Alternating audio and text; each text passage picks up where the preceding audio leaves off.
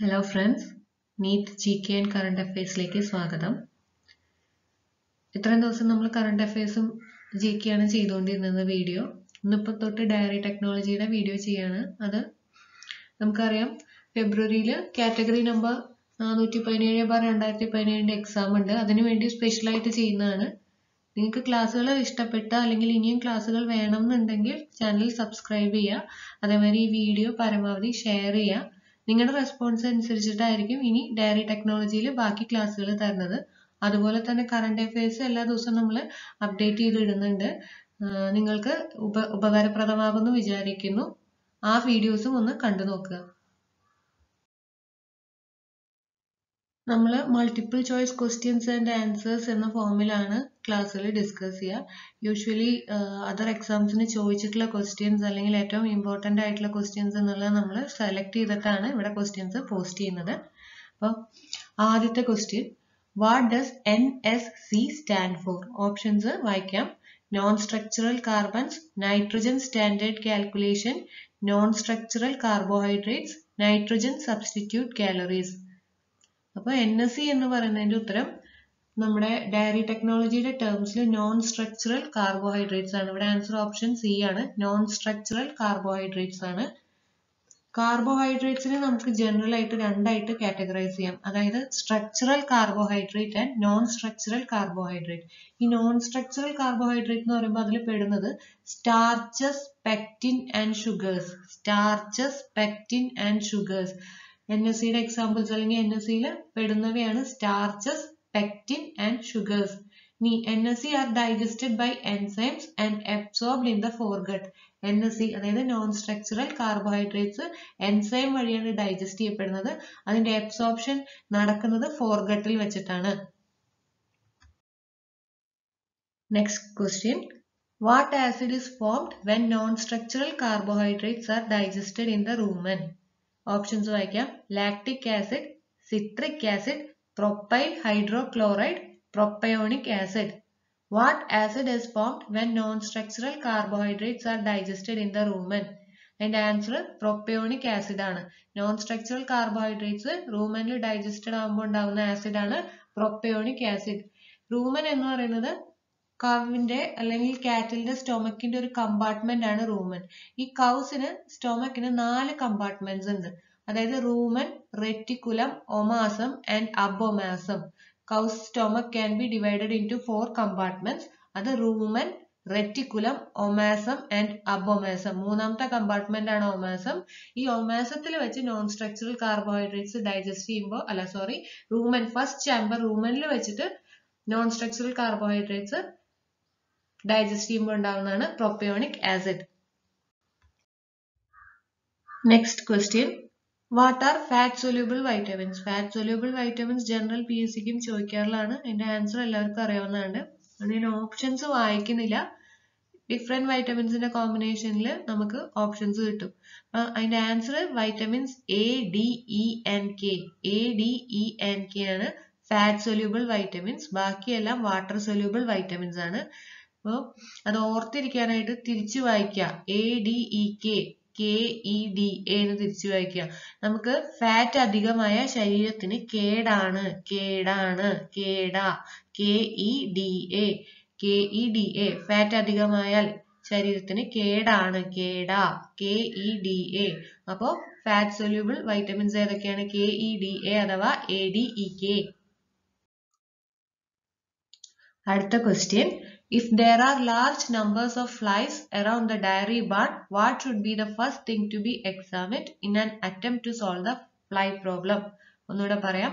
If there are large numbers of flies around the dairy barn what should be the first thing to be examined in an attempt to solve the fly problem options cow feeding procedures milking procedures manure handling procedures and finally calf feeding procedures ഇതിന്റെ answer വരുന്നത് manual handling procedures ആണ്.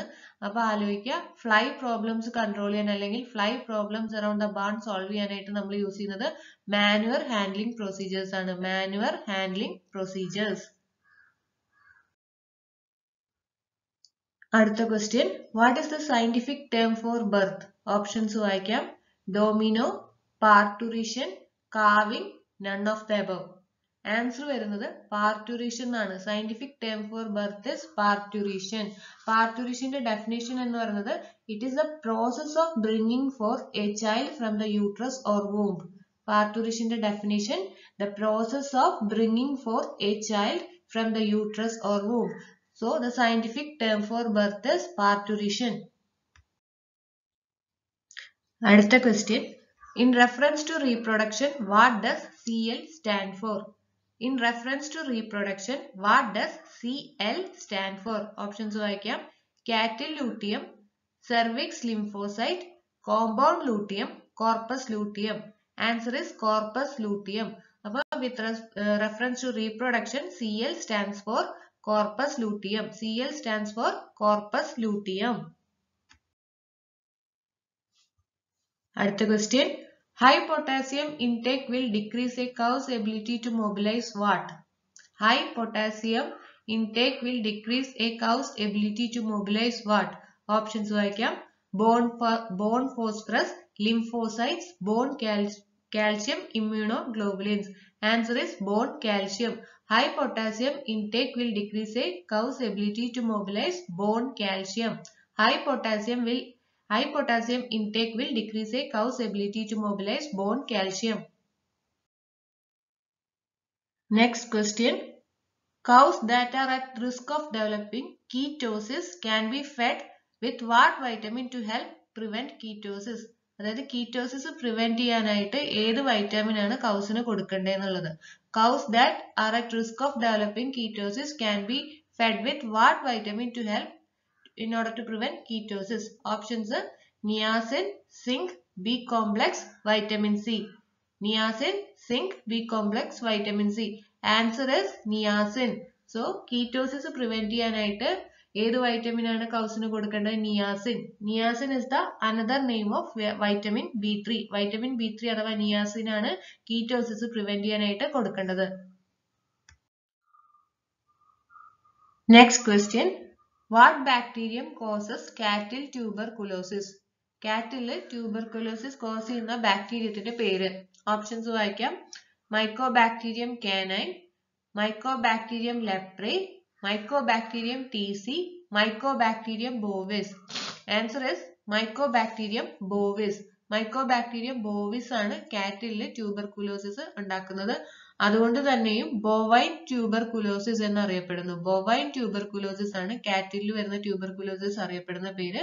Bovine tuberculosis കാരണം അതുണ്ടാക്കുന്നത് mycobacterium bovis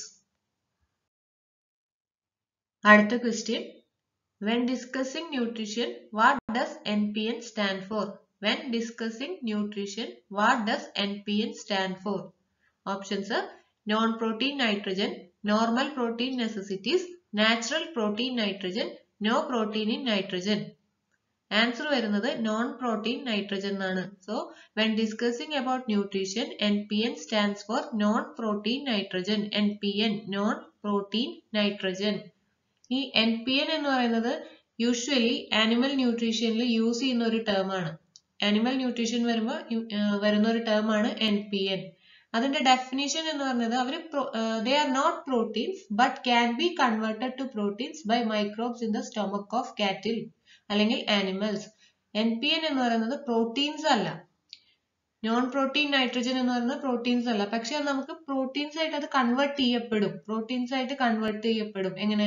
ഈ കാറ്റിൽസിന്റെ ഒക്കെ സ്റ്റൊമക്കിലുള്ള microbes ആവശ്യം വരുന്ന അനുസരിച്ചിട്ട് എൻ പി എന്നെ പ്രോട്ടീൻസ് ആയിട്ട് കൺവേർട്ട് ചെയ്യും. എൻ പി എൻ എക്സാമ്പിൾസ് എന്ന് പറയുന്നത് യൂറിയ അമോണിയ തുടങ്ങിയവയാണ്. യൂറിയ അമോണിയ തുടങ്ങിയവയാണ് എൻ പി എന്റെ എക്സാമ്പിൾസ് അടുത്ത question what does B V D stand for what does B V D stand for options boring viral distress bovine viral disease bovine viral dampness bovine viral diarrhoea answer is B V D stands for bovine viral diarrhea. bovine viral diarrhea bvd is bovine viral diarrhea that is diarrhea caused by virus next question neospora caninum neospora caninum is a major cause of what in pregnant cows options വായിക്കാം abortion parturition nutrition deficiency chronic diarrhoea answer is abortion Neospora caninum pregnant കൗസിൽ അബോഷന് കാരണമാകുന്നു. Pregnant കൗസിൽ അബോഷന് കാരണമാകുന്നതാണ് നിയോസ്പോറ കാനൈനം ഈ നിയോസ്പോറ കാനൈനം എന്ന് പറയുന്നത് ഒരു protozoan parasite ആണ്. Protozoan parasite ആണ് Neospora caninum next question when referring to vaccinations what do the letters M L V stand for? When referring to vaccination what do the letters mlv stand for? Options വായിക്കാം.